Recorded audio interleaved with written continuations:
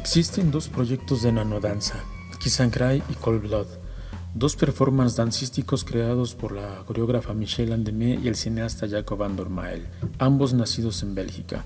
La nanodanza es un espectáculo que conjuga danza, cine, texto, teatro, títeres, televisión y una serie de artefactos creados de manera ingeniosa para la realización de un performance que podemos enmarcar en lo que el director de origen francés Cyril Teste denomina como performance cinematográfico.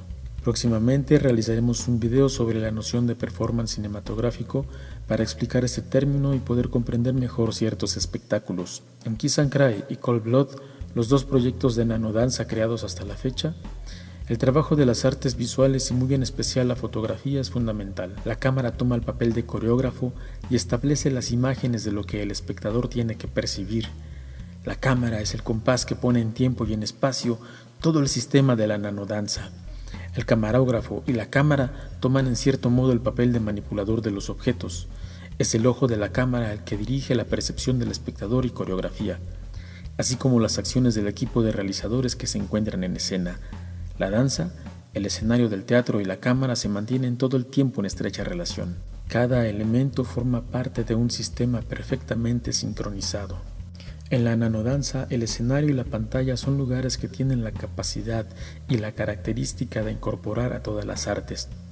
Pantalla y escenario son el terreno de la performatividad. De la apropiación de elementos audiovisuales, la nanodanza crea e inventa una nueva forma de representación. Emergen nuevos principios escénicos, lo que da pie a nuevas formas de estructurar un espectáculo. En este sentido, la estructura base de la nanodanza es el movimiento de las manos en pantalla, acompañadas de música, sonidos, palabras y objetos. Las manos son los personajes principales de la historia. Son manos que generan poesía a través del movimiento de su microdanza. Recordemos que nano viene del griego nanos, que quiere decir enano. Diríamos entonces que esta es una danza enana, danza de enanos, personajes diminutos que se mueven en escenarios diminutos, intemperies en miniatura. Al mismo tiempo, danzan grandes ballets acuáticos en una escala de 10 dedos, ilusionismo e ilusión óptica.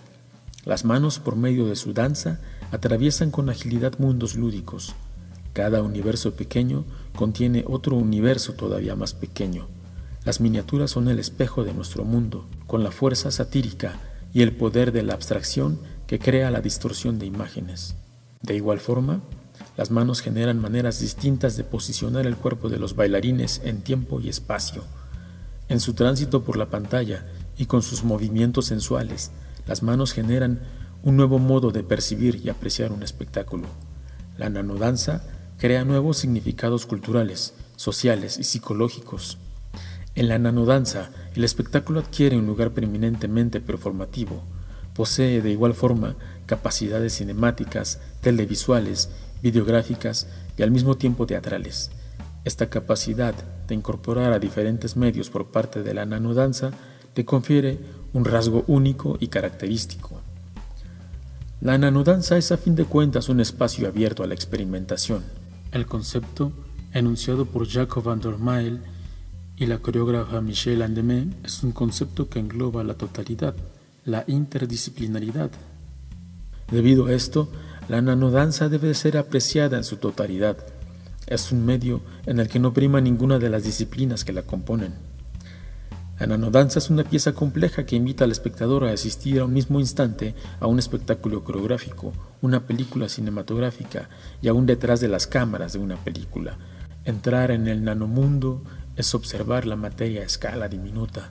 Es una descomposición extrema que permite comparar la exploración de lo infinitamente pequeño con aquella de lo infinitamente grande a través del lenguaje de la danza.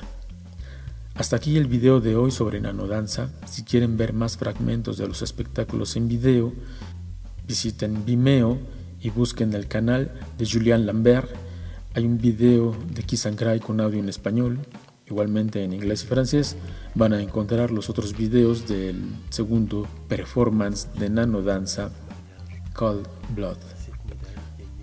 Para la explicación de este video tomé partes de un artículo mío con el título Performance cinematográfico y apropiación del lenguaje audiovisual en la nanodanza, publicado en la revista Interdanza número 45, en la que pueden complementar un poco más de la información, así como ir a mis fuentes bibliográficas para la elaboración de este video.